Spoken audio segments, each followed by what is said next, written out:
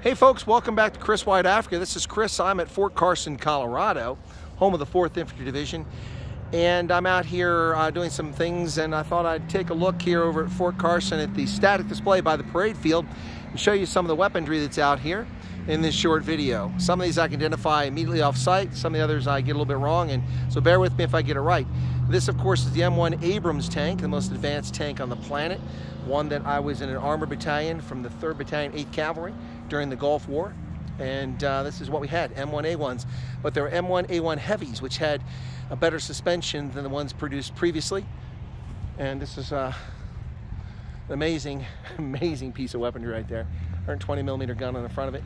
And over here is the AH-1 Cobra attack helicopter. Check it out, folks. There you go, right there, the Cobra. I love the paint job on that. You got the Fort Carson logo on the tail there, too. The unit markings. Little teeth on it there. You can see the chain gun in the front there. AH-1 Cobra attack helicopter. First field in 1965, folks. This was still in the inventory in the 1990s.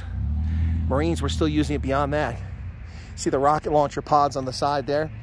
Pretty crazy, huh? And behind there, you can see the Rocky Mountains. Pikes Peak is off in the distance from here, from Fort Carson. Over here, this is a blast from the past, from the, the M2, I think, half-track from the Second World War. First design, uh, fielded in 1940, if I'm not mistaken, a half-track. Of course, it's a half-track because the vehicle's half-tracked and half-wheeled. Yep, the M2 half-track, 1940.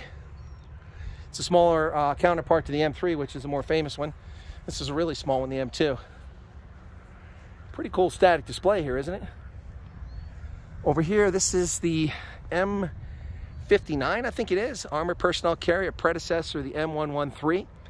And it replaced the M75, if I'm not mistaken. You look over here on the information panel. Very quick, yeah, it's the M59, 1951, it was fielded and it did replace the M75. There's an M75 up there. There's the Sherman tank. Check it out. Famous in World War II. This one's got 4th ID markings on the back of it there. Sherman tank. And over here is the M60. That's the tank that was the main tank in the U.S. Army inventory when I first came in the Army, the early 1980s, and stayed in the Army till replaced by the M1A1. But this is the M4 Sherman medium tank from 1944. Ubiquitous during the Second World War. And the M60 was our main battle tank for decades until it was replaced by the M1A1. 1979, this one was first fielded, the M60A3 Patton main battle tank. And this, near and dear to my heart, folks, that's the M42 Duster anti-aircraft artillery. I served in a unit in the Ohio National Guard with these up until 1989 when I came back on active duty. The M42 Duster twin 40 millimeter cannons. There you go. First fielded in 1952. And I will tell you that the vehicles that we had in the 1980s, the newest one was from 1956. And we had it till 89. It's crazy, isn't it? M42 Duster. Wow. That's a blast from the past. And here's the M75. This is the personnel carrier that predated the other one I showed you. Much higher silhouette, made it a nice target. See how high that is off the ground? It's much taller than I am, about twice my height, almost. The M75 Armored Personnel Carrier. 1952 it was first fielded. There's the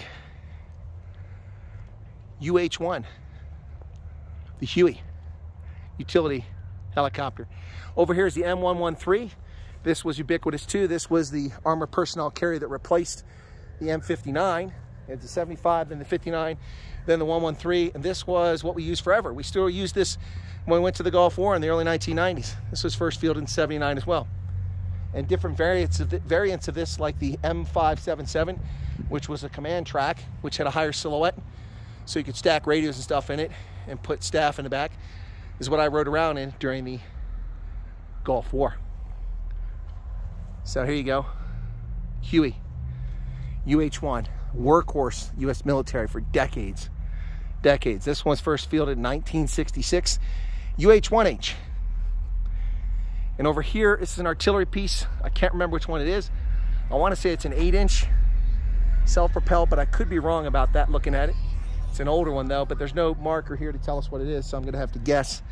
And that's the static display here, folks. I hope you found it interesting. Here at Fort Carson, Colorado, you can see the Rocky Mountains in the background behind the Huey, just back there. Sky's a little bit better tonight as the haze clears off from the California fires that have been burning out here. And I hope that you found this informative and useful. If, and and uh, feel free to give it a like if you don't mind and let people know about it. I know some people really enjoy this video, others may not so much. But this is uh, former hardware, former weapon systems, transport systems from U.S. military going back to the Second World War. Thanks a lot, folks. This is Chris. Have a lovely day.